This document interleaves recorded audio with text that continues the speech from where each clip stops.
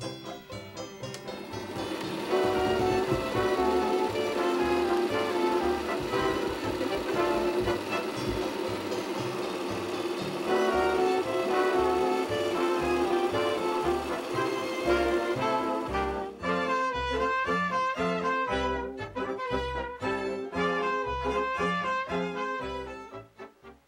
Hi, everyone. Welcome back to Classic Movies with Ron MacCloskey. Tonight, our guest is Professor Paul Israel. He's from Rutgers University, and he knows a lot about Thomas Edison and his life and his career and what he's been involved in. And tonight, we've asked him here specifically to talk about the whole motion pi picture industry and how it got started. First of all, thank you, sir. Welcome oh, to the show. My thank pleasure. you for coming. Glad to be here. Uh, tell me a little bit about yourself, if you can, your background and where you're from. Sure. Well, I actually grew up in California. Oh, I came to New Jersey in 1980, um, actually for what I thought was going to be six months to work on Thomas Edison. Uh, there was a, uh, the Edison National Historical Park in West Orange, New Jersey, his laboratory there commissioned a study of Edison's invention of the electric light. And I had just gotten a master's in public history at UC Santa Barbara and came out for six months to be the research assistant and uh, found him eminently interesting and um, fascinated by the whole process of understanding what he had done and the Edison Papers project at Rutgers University, which was taking the papers to publish them, uh, was just getting started. And so I joined the staff and then returned to school and got my PhD actually at Rutgers University and eventually became director of the project in 2002. Right. Tell me a little bit more about the Edison papers. So, what are these? Just letters from Thomas Edison, or Right. correspondence, or what? What is it's just about anything you can imagine. So we have all of his notebooks. We have his personal correspondence, his business correspondence. Uh, we've collected a whole slew of different family papers from all over. Uh, we've got his business records, so all the companies that he established, all the businesses and industries that he founded. We've got all those records. Um, or we've got most of them. We don't have everything. There are times when we wish we had everything, but we don't. Um, so what we're doing is we're uh, publishing those in both a, an image edition that began as microfilm, but we've been digitizing those records and putting them online. And then we have a book edition, which is about half done now, uh, beginning uh, with his birth in 1847, going through to his death in 1931, and we're at volume 8 of 15. Uh, volume 8 will be finished this spring. Okay. And it, is there anything that stands out in your mind that you've learned or that you've discovered that maybe Right. wasn't Well, I think before? the thing there, some of the things we we've discovered about Edison that I think are most interesting and important are the way in which he really did transform invention in the 19th century. At Menlo Park, here in Edison, he developed the first true research and development uh, laboratory for invention, for new technology, and then built the bigger lab in West Orange uh, later on. But it sort of began here in, uh, in Edison. And in, as part of that, he also kind of took invention and made it part of a larger process. So Edison didn't just invent in the laboratory, but he then figured out how to manufacture and take the technologies out into the marketplace. And he did all of those things. And that's what sort of sets him apart from so many of his contemporaries. Well, let's back up a little bit and let's find out a little bit more about Thomas Alva Edison. He was born when and where did he grow up? Right, so he was born in Milan, Ohio in 1847. Uh, this was, today it's a, it's a little backwater. At the time, it had a canal uh, that transported more wheat than any place else except through Odessa, Russia. Wow. Uh, it was a real busy port city.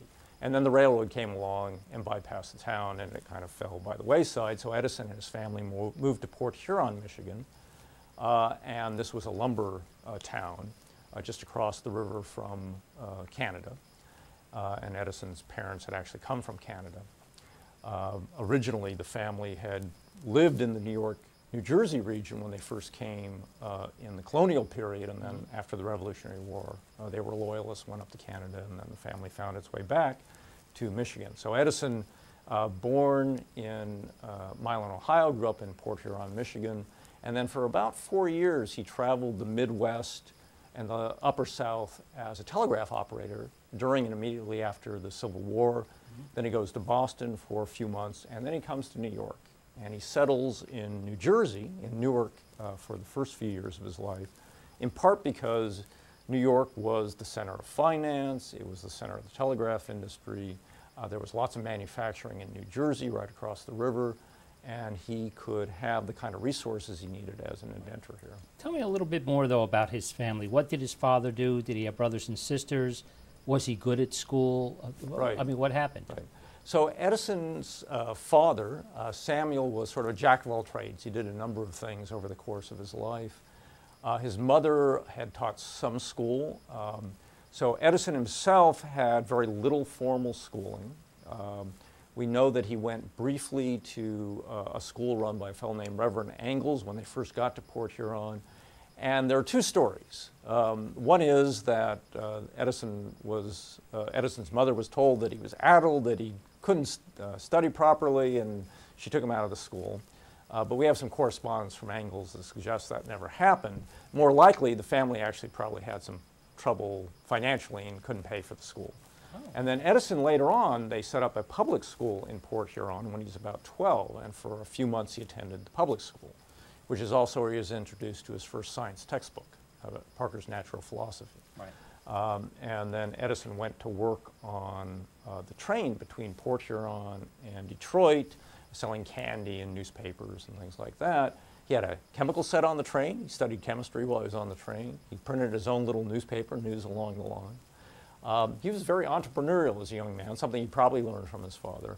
He did have uh, older siblings. Um, uh, there were um, three uh, children that uh, survived and three that died. Uh, the two that survived were um, William Pitt um, and Tanny and then um, Edison himself. And, but he grew up more or less as, a, as an only child. Okay. Uh, by the Well, time that what was he, the age difference between? there was significant age difference uh, between them, and so the uh, other children were pretty much out of the house Right. by the time. Okay. So then, Edison how far did Edison get in schooling then? So he, he almost had none. He had a few a few months around the age of seven, and another few months around the age of 12 Mm-hmm. But what he did learn from his mother uh, was a great love of reading and learning through reading. And Edison read voraciously throughout his life. Um, and uh, we know that, for example, as a telegraph operator, uh, he would stop at the local, what were then called free libraries. Today we call them public libraries. Um, but he also did that when he was on the train. Uh, when he went to Detroit, he would stop at the Young Men's Institute there, which had a library that he could use. Right. We actually have his library card from that. Oh, Yeah, terrific, yeah. terrific. Okay, so then he leaves Ohio, he comes to the New York area. Right. So he comes to, to New York because he, had, as I said, he'd been a telegraph operator in the Midwest. Then he'd gone to Boston to be an operator. And Boston is really a center of invention as well. And uh, so this is where he first begins to try to become an inventor, leaves his job as an operator. And amongst his inventions is this idea for sending two messages on a single wire, which other people were working on at the same time. And so he comes down to New York to test this on a line. He got permission to test it on a line uh, from Rochester to New York. And this is what brings him to New York. But once he was here, he realized, oh, New York's the commercial center. This is the place I really need to be. Right. So that's great. So it was the telegraph um, job that developed into something more and then brought him to New York and then he stepped. Right. But now he didn't have the means or the money at all to then set up his own. So what did he do from there as far as? Right. So what happens is that uh, Edison is working uh, particularly on a set of technologies known as printing telegraphy. We know them more commonly as stock tickers and related Oh, okay. instruments like that. And so Edison was making improvements in stock ticker technology uh, for a company called Gold and Stock, which was the company that started the whole business. And Edison gets hooked up with Gold and Stock, and his first contract with them actually uh, enables him to open up a little experimental shop so he can hire a machinist and have machinery so this machinist can help him develop the technology. In the 19th century, these were the laboratories, uh, machine shops where you had skilled machinists who could take an idea and turn it into a working instrument made out of wood and metal.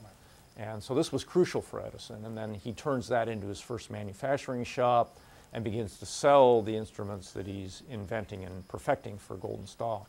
Uh, and so this is how Edison begins to develop both his reputation and the financial resources to be an inventor is through these agreements. And he does this in New York City or, or he goes to Newark, Well, New Jersey by he, that time? he sets up his first shop in Newark okay. because Newark is a, a major manufacturing center in the region. Uh, and it's right across the river from New York. So it's easy access to New York, where the companies and the capital is. Uh, but Newark has the advantage of the manufacturing facilities right. and skilled machinists that he needs. And, and eventually what he does is he begins to combine right, this sort of shop invention with a laboratory. And that's because he goes to England and encounters a very scientifically oriented telegraph industry there. Uh, oh, people wow. like Sir William Thomson, later Lord Kelvin, who was involved in developing the undersea cable telegraph systems. This was a physicist involved in the telegraph industry, and there were other people who had this sort of sophisticated background. And so Edison began to see the value in uh, developing a laboratory. People like uh, Kelvin had developed electrical measuring instruments you couldn't get in the US. He begins to order those from Britain. And so he sets up his first small laboratory actually in a shop in Newark. And then when he moves to Menlo Park, he has this full-scale laboratory right. sets up. And about what age is he at this time? Is this before he's the age of 30? He right. So Edison okay. sets up the Menlo Park laboratory in 1876. He opens it up uh, late March, early April of 1876. He's 29 years old. Wow. And then from there, is there an actual way to track I mean, one invention came next, or what was oh, the yes, next? very much so. So, so what was the progression? Right. so Edison had been working on telegraph technology okay. for the most part, and one of the telegraph technologies he's working on when he first comes to Menlo Park is what's known as acoustic telegraphy. This is a way of using tuning forks or vibrating reeds to send different tones or frequencies over the line. So you can send many messages, but they would be separated out by different right. frequencies. This is the basis for what becomes the telephone because Alexander Graham Bell and a guy named Elisha Gray were also working on this technology, and they begin to develop technology that becomes the telephone. And Edison himself later realized he had something that would have worked as a telephone as well. Wow. And so after Bell announces his telephone, and in 1876 there's a big centennial uh, exposition in Philadelphia for the 100th anniversary of the United States, and that's where he shows this publicly. It makes a big uh, uh, you know, it's given a big reception. And so people that have been to see this say it us, tell us, and this is what he's got to work on. Western Union wants him to work on it, and so he begins working on telephone technology okay.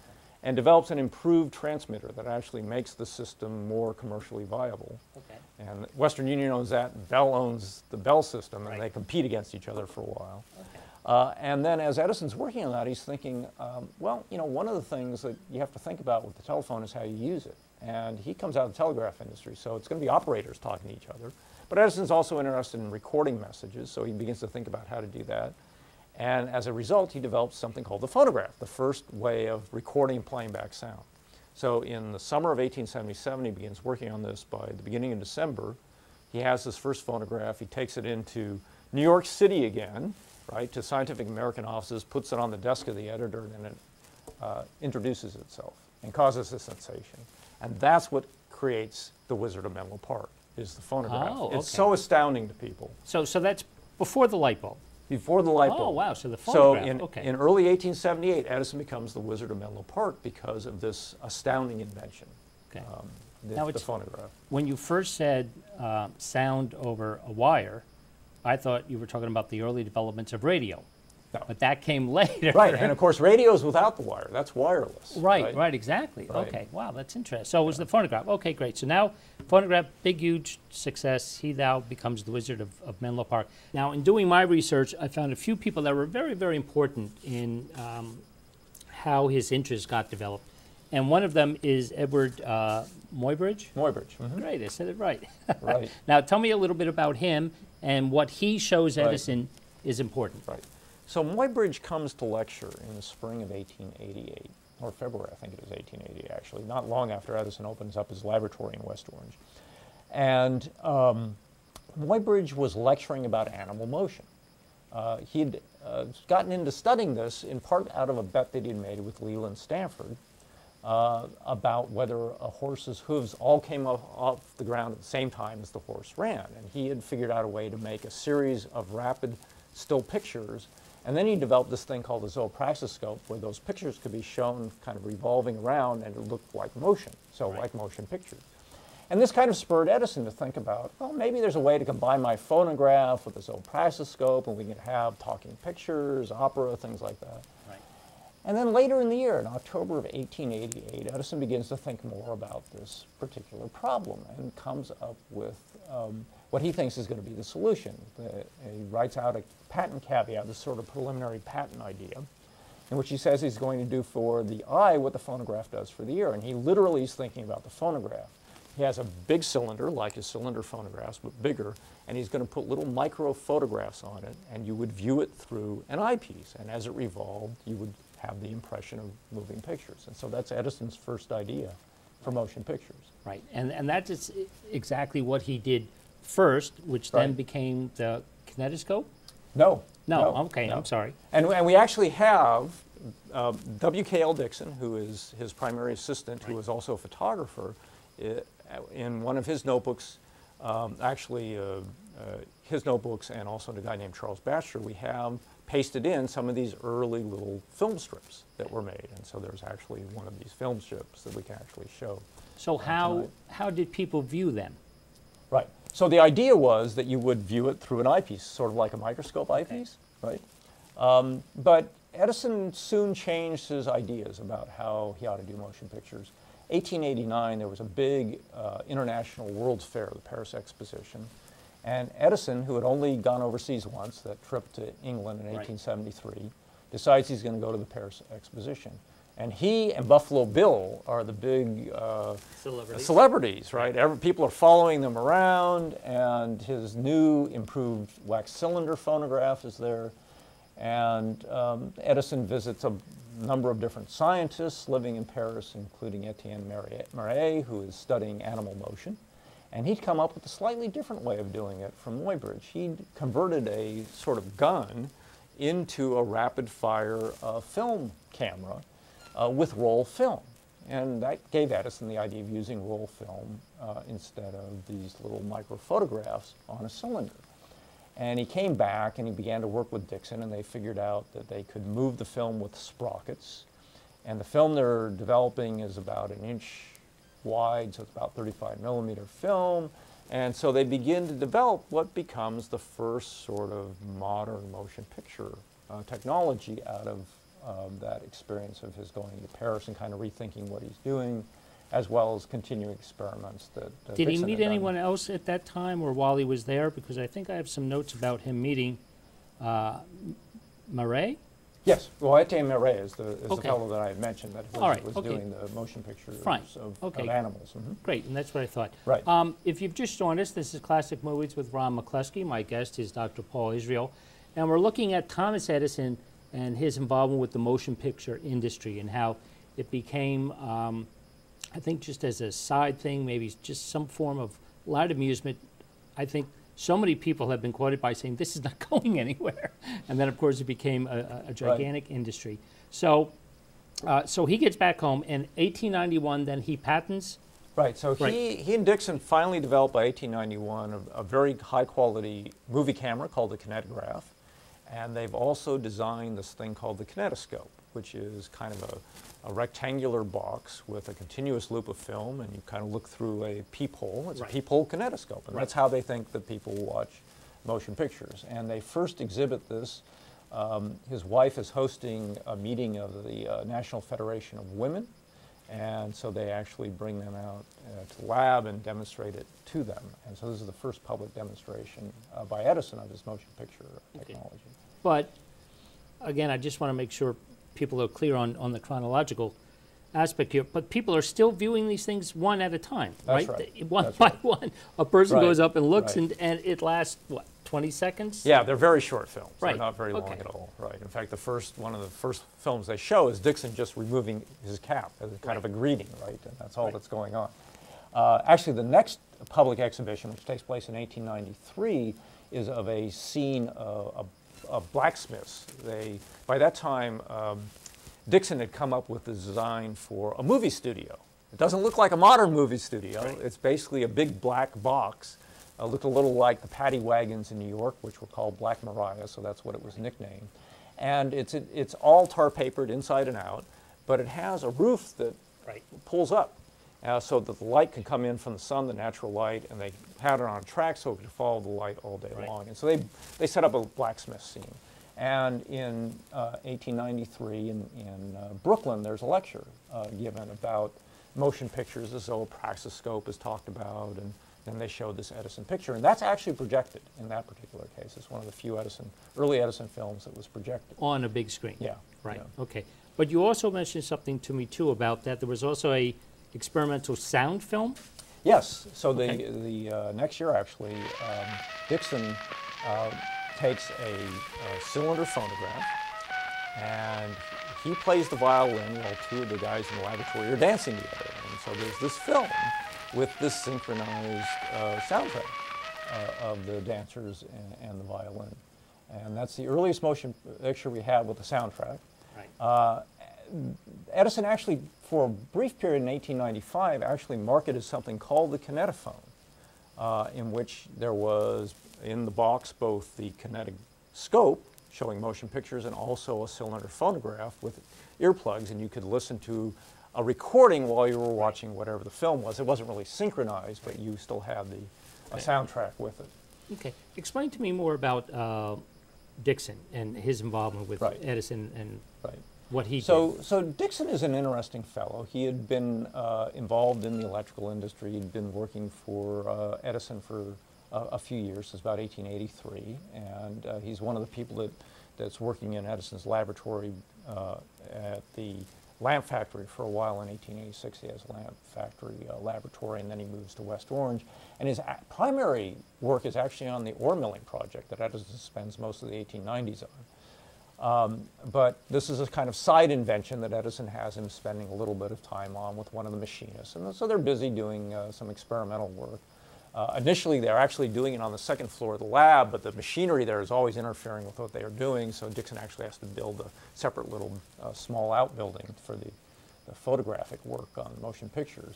Right. And so uh, Dickson does a lot of this sort of day-to-day work, and if anybody could be considered a co-inventor of motion pictures with Edison, it would be Dickson. Very Which, which again, I'm sure is completely understandable because Edison's busy running his own company, Right. uh, doing other experiments, doing other, uh, Right. signing patents and doing things. You can only focus on so many things at so many times, but still, Edison's name is on the company and he still has to approve well, on Edison, what is going uh, on. The, the thing about Edison is that at the, way the laboratory worked, there were teams of inventors, Mm-hmm. right? So Dickson was working on ore milling with some other people. He was working on uh, motion pictures with some other people, and Edison was kind of overseeing the whole thing.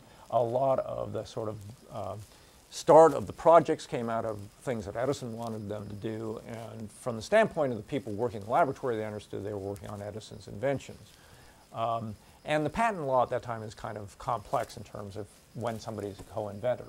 Uh, there have been a lot of arguments, and I think very good ones made, that in this case Dickson probably should have been Right. on the patents, and he wasn't. Right, Yeah. right, okay. Now let's talk about the Latham brothers. Mm-hmm. And this is again about the mid uh, 1890s. So Right. what happens with them and how are they involved with Edison? Right. So in 1894, Edison finally is at the point where he can begin to commercialize this. And so he's going to sell the kinetoscopes and the films, and people will use them for exhibitions, set up parlors, or they'll be put in amusement uh, houses, or they'll be put into bars or train stations. Uh, the same thing was happening with the phonograph at the same time. Uh, there were these coin and slot phonographs. You could go and listen to a musical recording through earphones. And so the idea was that there would be a similar sort of uh, showing of films with the uh, kinetoscope. The Latham brothers, Raff and Gammon, and others were involved in setting up these exhibition companies and buying uh, the um, kinetoscopes and the motion pictures from the Edison company. Okay. And let's go back to what people were actually looking at at this Right. time. They were looking at just ordinary things, right? Right. S- Some of these So films? the, the earliest f- commercial films uh, were primarily um, pictures of vaudeville acts. Uh, the Buffalo Bill Wild West show was filmed in a number of different a- aspects of it, Annie Oakley amongst them. Um, and then there were uh, films of street scenes. Um, in fact, the, the early Edison camera was electric, and so you actually needed power to run it. And so it was mostly confined to the Black Maria. But in France, the Lumiere brothers figured out a hand crank photo, uh, excuse me, a motion picture camera that also projected. And that sort of changed the picture. And so other people began to develop. There's a guy named Paul, uh, Robert Paul in England, who Right. developed his uh, device like that. And so the Edison company actually had to match them and come up with a portable camera. And you begin to see a lot of street scenes, right? Right. Uh, onrushing trains or, or um, just people walking on the street or crashing waves, a light lifeboat coming in saving people, things like Right. this. Uh, it's really what, uh, what film historians call um, uh, uh, actualities, excuse me, uh, which are just, you know, sort of everyday scenes. Um, and then you get, get sort of newsreel sort of things. Uh, President McKinley at the uh, Buffalo Exposition. Uh, you get um, uh, shots from the Spanish-American War, both real footage and then recreated footage. So there was a rec- recreation of the sinking of the Maine, for example. Oh, wow. Um, and so they're, they're kind of early newsreels, right? Right. This is, uh, you know, today we have TV. In those days, you could have gone and, uh, to a phonograph, excuse me, a kinetoscope parlor and, and watched. Uh, so something. McKinley then was the very first president. to First president to be uh, Okay. yeah, filmed. Okay. Mhm. And then I think you also talked about uh, a boxing match. Right. So actually, this is before the commercial films even. Um, uh, Edison brought uh, uh, Corbett and Courtney, two boxers, out to the laboratory and actually filmed them in the Black Maria. Uh, and boxing matches were actually a highly popular thing. And so a lot of bars uh, had kinetoscopes where they could show these boxing matches, for example. Uh, and these, these were the earliest sporting events that were very popular at the time. So all this is going on in America. Mhm. All this is going on with Thomas Edison. Right. And um, every once in a while, because again, with communications, you hear about things that are going on in Europe, but a lot of things are going on in Europe. Right. And just mention some of those people, and, and like Lumiere, Méliès, and, and all Right, those people, and right. what is going on there. And is it, I want to say, is it because of competition, or they just had their own little niche of what they wanted to do? Right. So motion pictures is one of those inventions that was ripe for the doing at the time. There were lots of people working on motion pictures. Edison happened to get there first commercially, but right behind him were the Lumiere brothers, um, and in some respects with a better system. Um, it turned out the projection was the future, not the kinetoscope. Uh, the hand crank camera gave it more portability. This was really important early on. Uh, in England, uh, there was a fellow named Robert Paul who was working. There was another fellow, uh, William Friese-Greene. Yeah, even earlier in France, there had been this guy uh, named uh, Le Prince who had actually come up with a um, motion picture print on paper system, and there's one small little surviving clip of that. Um, so motion pictures were in the air and people were working on them. And right behind Edison was Lumiere Brothers and their beginning of film production. When they first showed their first public uh, films, uh, their first public showing, amongst the audience was George Méliès, who actually approached them afterward and said, I want to buy one of your machines. Méliès was this magi- magician. He had his own theater. And he thought, oh, motion pictures would be wonderful. These are magical in their own way, right? Uh, they actually refused to sell them, so he actually got a, a machine from Paul in England and then designed his own and began to create really fantastic motion pictures. He's the guy who really invents a lot of the special effects of early motion pictures and really begins to shape storytelling and special effects photography and influences everybody else, including the people who work for, for Edison. Right. And again, just as a point of reference, so people can, if they want to find more about this gentleman, uh, Scorsese did a wonderful film a couple of years ago. And what was the name of that film? Hugo. And uh, in that film, Méliès is an older gentleman who has this toy shop in the railway station. Nobody knows who he is anymore. This is many years later after his heyday. And the kids that are involved in the movie soon discover that here's this motion picture genius who created this incredible motion picture magic. And one of the things that Scorsese does beautifully is show how he did this and kind of recreates the whole thing. It's a really wonderful Great. film. And let's back up a little bit. Tell, tell me more about Lumiere and, and what they had to do. First of all, they're two brothers. Right. And they get into uh, making films. And they call their camera cinema. Cinematography. Okay. Um, right where cinema comes from, right, and that's actually how the French refer to it as a cinema, right? Okay, great. But what exactly did they contribute? What, what is it in Right. their film So, industry? so, so their contributions are this: um, one, they have a camera that's portable, and so the camera goes outside. With the Edison camera, it was stuck in the Black Maria. Right. Right. So that's really crucial, right? Is going outside, and that's that really helps motion pictures to open up. And the other thing they do is their camera turns into a projector, and so all of a sudden, instead of everybody individually looking at pictures, right, through a little peephole, all of a sudden you can project on a screen and have an audience, right, and share in motion pictures. And this, this becomes the future. And it becomes obvious to the people working in the Edison film business that that's the future. And so amongst the exhibitors are these guys, Raff and Gammon, who approach one of the American inventors of a projector, a guy named Thomas Armat, who was, uh, with Charles Jenkins, had developed this thing called the, the Phantoscope. And they approach him and they say, well, you know, everybody's waiting for Edison to invent his projector, and then you're going to be out of luck because everybody will want the Edison machine. That was his reputation, right? right. And Armat agrees to sell out.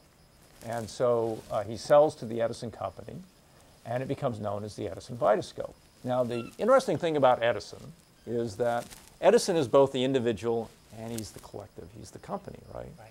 And so in the public mind, it's always Edison, the individual. Right. So anything that comes into the Edison world is named Edison, right. whatever it is. In this case, the Vitascope. And so people believe that Edison invented projection, but in fact, he just took this device that had been invented by somebody else, and they used it um, first in the United States. Right. And again, it's not I mean, to me, it's not such a big thing that, okay, so he didn't really sit down and do this. But again, he has so many things going right. on. He's such a large company. Right. People are coming to him with right. other things. So they all make it a part of it, and, and, and it That's becomes right. a part and of it. And so it's as, as with any business, he's trying to catch up with the, mo what the most recent thing is. And so that's what they do is they acquire the, the now, uh, we are talking to Dr. Paul Israel from Rutgers University, and we're talking about Thomas Edison and his involvement with uh, the motion picture industry. And there are two great DVD sets that are sitting on the table here that, again, if you're interested, you may want to find out about getting these. One is called Edison, the Invention of the Movies, and I'm sure it's uh, available on Amazon and online. The other one is called George Méliès, The First Wizard of Cinema. And there's just so much information here and so much facts. It's just, it's wonderful, wonderful things. And let's one, one thing I should yeah, say about these. So, so the uh, the Edison um, box set has interviews with a number of film historians, and I also am interviewed in this. Uh, so they give you a little bit of the, the history as well. And in Méliès, there's this wonderful little documentary that uh, accompanies it as well. So you learn more about the history of this as well. Terrific. Let's go back to some of these things, which I think is interesting, is that these mundane things became the interest of, of people to look at. And what is called, I guess, the first movie kiss, right? And mm -hmm. again, this is, I guess, one of these things that have been shown a hundred times. Right. Now, who are these two people? What, what is right. going on so, here? So they brought a couple of Broadway actors, and there was this famous kiss that took place in a play, right. and, and they just reproduced it on camera. It doesn't last very long, right. but that's what these early films were. They were just these little snippets, right? So you'd bring a vaudeville dancer out, for example. She'd perform her dance, or right. Sandow the strongman would lift weights, and that's what the film was, right? Wow. Okay. and then what about the sneeze? Isn't there also right? So uh, uh, Fred Ott, one of Edison's machinists, um, took a pinch of snuff, put up his nose, and sneezed, and that's what they filmed. that, by the way, is the first motion picture ever copyrighted. And one of the reasons we have some of the early Edison motion pictures is because the way Edison copyrighted the pictures, you could copyright photographs. And so they copyrighted every single frame by printing on roll paper and depositing in the Library of Congress. And later on, people at the Library of Congress figured out how to convert it back into film. Oh, wow. And in fact, you can go on the Library of Congress website and see a whole bunch of Edison films, these oh, early terrific. Edison films. Terrific. Now, speaking of Edison, Edison himself was in a, in a, That's a right. short movie, right? Now, what, right. what happened there? So there are two movies about Edison. One is an artist sketching a kind of cartoon of Edison. You never see Edison himself. Okay. But uh, later on, they brought Edison into the Black Maria. They set up a little chemical table there, and he's there conducting an experiment. Right. So you have this film of Edison in his laboratory. Right. Now, this is long before, I'm guessing here, I'm just throwing this at you, long before subtitles or anything, right? So, so, so no one had thought right. that if Edison said, "Hi, I'm Thomas Edison," to then show a card. Right. That, so, that comes a little later. Okay, a little they bit begin later. to tell stories, right? right. And you okay. need to have some way. You don't have dialogue, right? right? Because there's no speaking. Right. So they had to have dialogue. So as you begin to get story films, right? So late 90s, turn of the century, you begin to get the evolution of story films. The original ones are very short. They're just little skits. Right. But increasingly, you begin to get longer and longer films. And Méliès in uh, France is the one that's kind of leading the way in a lot of these early uh, storytelling uh, films, and then people in the U.S. are seeing what Méliès is doing, and they're beginning to copy him. And around 1903 is when you really, 1902, 1903 is really when you get the, a burst of much longer sort of story films, and people beginning to try and figure out storytelling techniques, all the sorts of camera right. techniques that you have, uh, close-ups, um, uh, dissolves, fades, things like that. Right. Um, how you tell the story, right? Mm -hmm. That's taking place in two different places at once. Right. Uh, there's this wonderful film, Life of American Fireman, that Edwin Porter, becomes the main filmmaker for Edison, shoots in uh, 1902 or early 1903, in which you see all the action take place from one perspective and then the exact same action but from the other perspective. First right. from the fireman and then from the person being saved. Right. Later on, you get films like The Great Train Robbery, the same year, 1903, but there you have a much more uh, modern sort of storytelling technique. Okay, let's take a look at the Great Train Robbery, and again, because it's so famous, because it's been um, quoted over and over again, it's probably the first uh, full-length telling of a story. It has some wonderful shots. Um, in fact, was some of this shot in the woods of New Jersey? Yes, it was. Okay, mm -hmm. and then of course there's that famous scene where the um, one bad guy points the gun right. to the audience right. and shoots? Well, later on, I think it was the movie's called The Gray Fox, uh, where it's, it's supposed to take place around the turn of the century, and this former uh, outlaw is sitting in, in a uh, movie audience, and all of a sudden, this fellow comes out with the gun and shoots, and, and he and everybody else is just shocked by it. And, and there, there were these stories. For example, there's a, there's a famous uh, film of a train kind of coming around a track, and it looks like it's coming straight toward the audience before it finally curves away, and apparently people were quite startled by this. Right. Uh, uh, let me ask you something else, and again, because I just thought of this when you talked about the train, and then earlier when you talked about the hand crank mm -hmm. um, camera. Was it an accident, or did they also discover that as they crank that film through the camera, they can make things go faster, go slow, and add that to the storytelling? Would, right. Did well, that I happen think, I, you know, I, a lot of these are people just kind of experimenting. Let's right. see what happens if we do this or right. that or the other thing. And so that's what happens in this early period. People are kind of playing with this new technology and figuring out what, not just how to use it, but also what it's good for. Edison right. himself didn't know. When he invents motion pictures, he thinks, well, it'll be, you know, kind of sentimental. It'll be nice to be able to, you know, say, see an opera or something like that. Um, but he doesn't really know what, what it's going to be. And if you look at what those early films are, nobody quite knows what to do with this. So they think, oh, let's just take the camera out, point it at something, and shoot it, right? And then you get people saying, well, you know, we could tell a story, right? And then as they begin to tell stories, they figure out different techniques to make those stories more dramatic, right, or funny.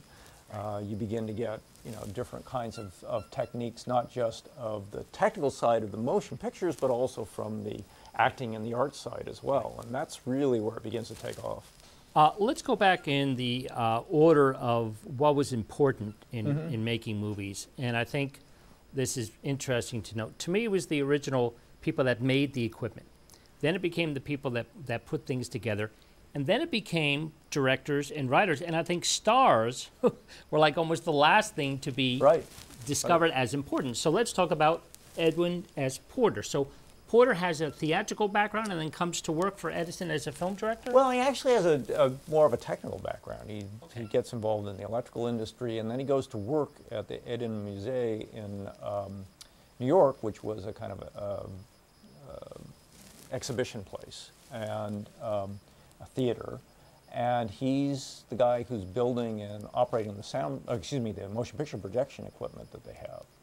And that's sort of how he gets into motion pictures and gets him interested in the subject, and then he eventually becomes part of the uh, Edison uh, motion picture uh, business, um, and uh, right around 1900. And he becomes the primary filmmaker for Edison, okay. and he's the guy that sort of pushes them more towards story pictures right. and away from some of the more um, you know, street scene sort of uh, filming that they'd been doing up to that point. Right. So you were talking about the life of an American fireman right. and how important that was. Right.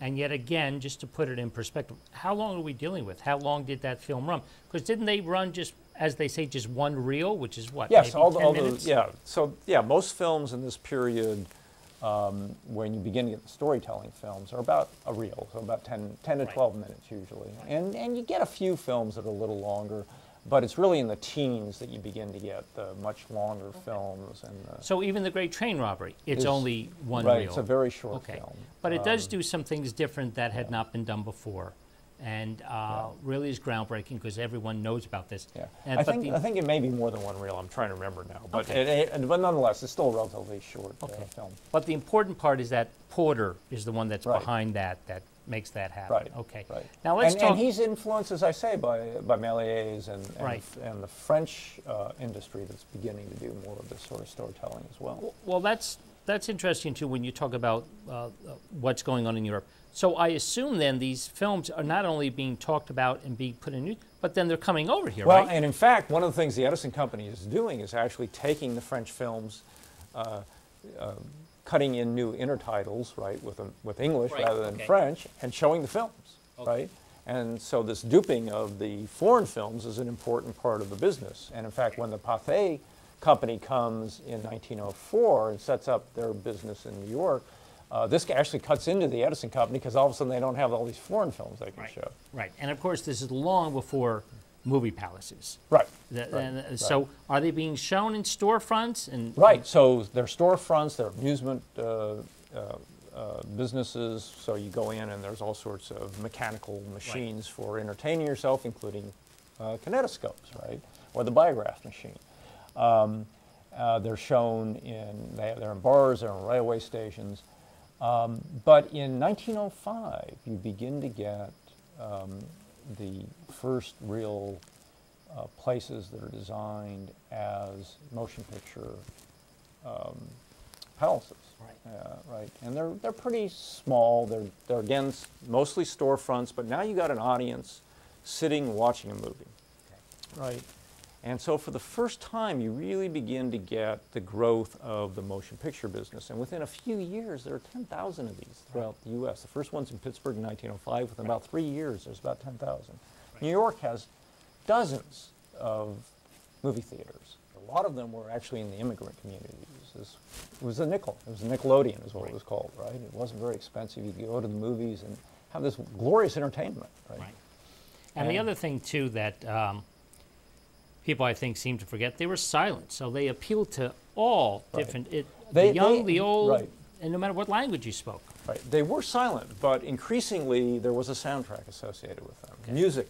So there were organs in a Right. lot of these, especially the palaces that get built in the 20s uh, Mm-hmm. have these grand organs. But early on, you know, pianos and other things. So uh, from early on, there's there is sound associated with it. In fact, some of the earliest uh, showing of motion pictures were actually in lecture halls.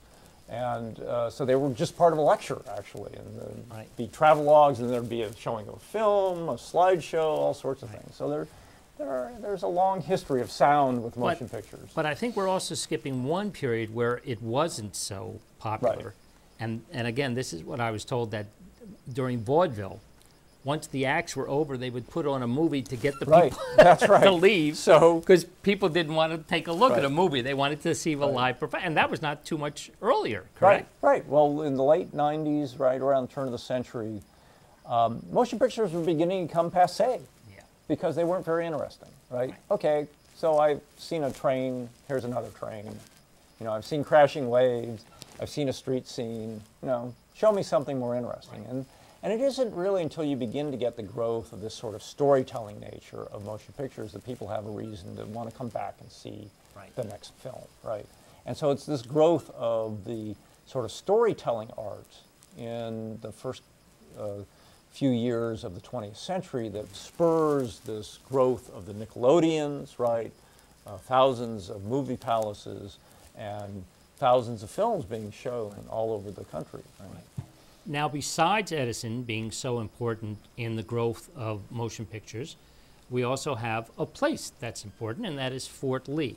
Now, what happened with Fort Lee, and who was attracted, and what happened there Right. in the early Well, 20th century? New Jersey, of course, is where motion pictures in the U.S. started at the Edison Lab and filming in area around the, the Edison Lab. Uh, but uh, around 1907, 1908, people realized that if we're doing storytelling, we need, you know, we can't keep showing people the same places over and over again. And Fort Lee had some advantages to be able to sort of represent other places. The Palisades, right, could represent cliffs in various places. Um, the, the town of Fort Lee itself became uh, part of the movie industry, and there are lots of films that were done around the town of Fort Lee where different uh, buildings were used and the streets themselves. And so Fort Lee had the scenery, it had uh, proximity to actors from Broadway, um, to the capital uh, that was available from investors in New York. And so a lot of studios begin to get set up in Fort Lee, and some of those that later became famous up in out in California. Fox and Goldwyn, um, Universal Studios begins there. D.W. Griffith gets his start there. In fact, his start was actually, he was an actor in an Edison film that was filmed in 1907 at the Palisades. And then later on, he filmed uh, uh, famous actors. Uh, amongst the actors he used was Mack Sennett, who went on to develop his own studio in the Keystone Cops, a very famous series of, of comic films. Uh, the Gish sisters um, became famous uh, actresses working for D.W. Griffith. They got their start in Fort Lee.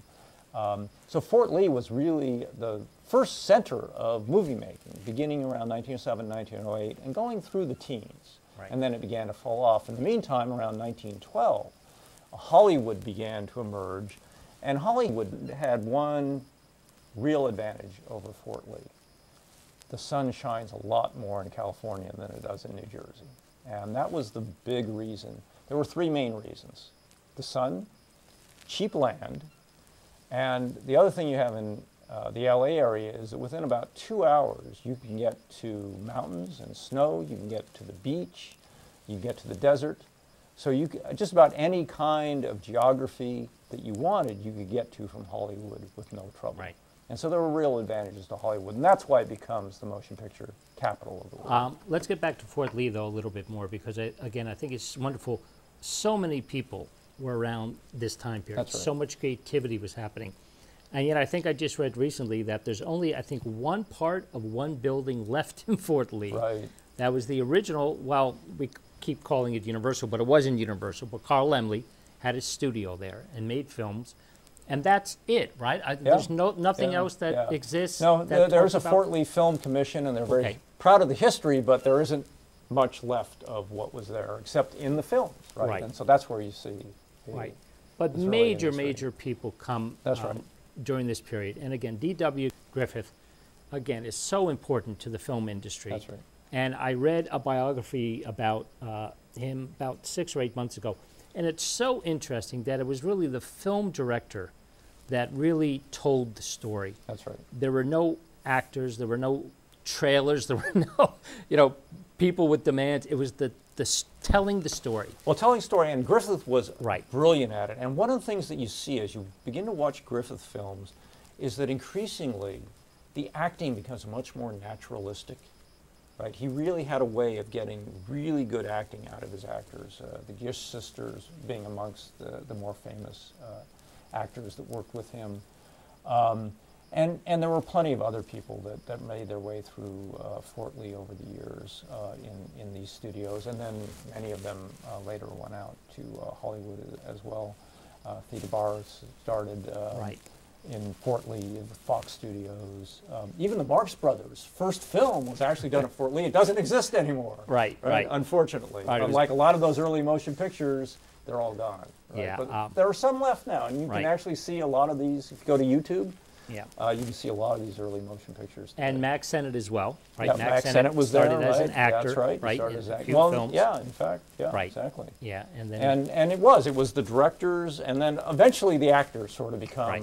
the, the the the image on the film becomes what people think about first, right? right with motion pictures, but it takes a long time to get yeah. from those early motion pictures to the screen celebrities of the 1920s, right? Right. Um, and, and you can sort of see this emerging with the creation of United Artists in 1919. So D.W. Griffith, director, Mary Pickford, Douglas Fairbanks, and Charlie Chaplin form the studio, right? And that really marks the shift, right? Now motion pictures is going to be driven by the artists. Right. And that's really where that shift happens. And in the 20s, that's what you see, right, is the, the artists take over. Now, what is happening in the same time period back in Europe? Are they still doing as much inventiveness as they were doing before? And is that growing as well uh, as in America? Right. Well, the film industry is very international in its early years, and one of the reasons for that is it's silent. Right. Right. Language doesn't matter, and that's one of the huge differences that happens. Right in the late 20s when sound gets introduced, and all of a sudden, all of these languages, you know, it's foreign films become real foreign films. Right. Right. Um, uh, it's surprising. Edison himself, who was trying to develop motion pictures with sound from the beginning, in fact, in 1913, he goes back to this idea and actually tries using large cylinder phonographs linked mechanically to the first the camera and then to the projector uh, to show motion pictures, and it fails because it just get, keeps getting out of sync. So, but by the time motion pictures comes into being, sound pictures in the late 20s, Edison is almost deaf by that time, and suddenly couldn't enjoy it Right. and wanted the old silence because he could appreciate that without having to hear the voices. Right. Uh, but by 1918, and again, I don't know whether it was because of his interest or financially or what was going on, he decides just to Right. abandon it and Right. Well, the by the by the teens, of course, you, uh, Edison during the war wasn't very much at home. He was actually been doing a lot of research for the Navy in those years and doing a lot of traveling. Uh, other people were running the business. Um, when he came back, um, uh, I think that there was a sense that the motion picture industry wasn't a core industry for the Edison interests. And in part because they hadn't really moved into uh, developing long story art form as well as some of the other companies that were led by um, these artists like Griffith and Charlie Chaplin and Mack Sennett and others. Right.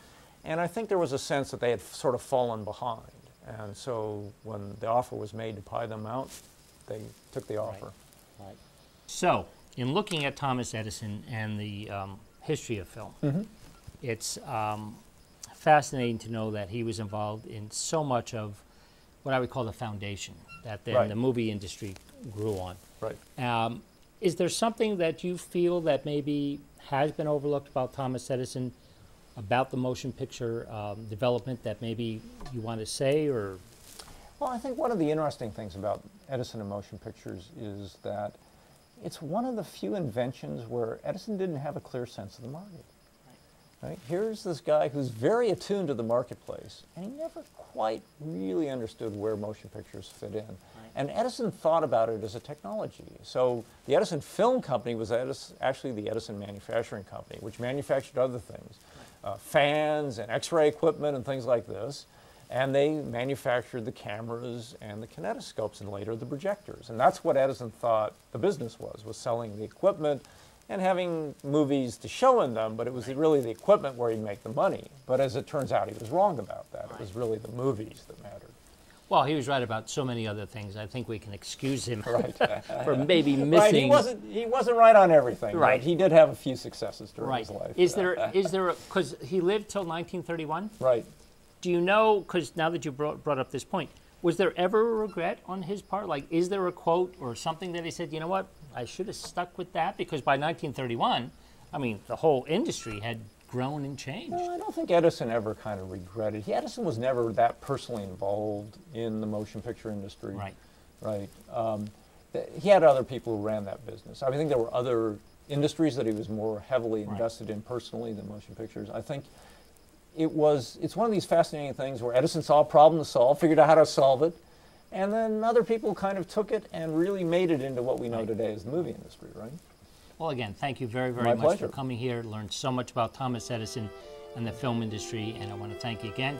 So, thank you, ladies and gentlemen, for joining us. Classic Movies with Ron MacCloskey, and we'll see you next time.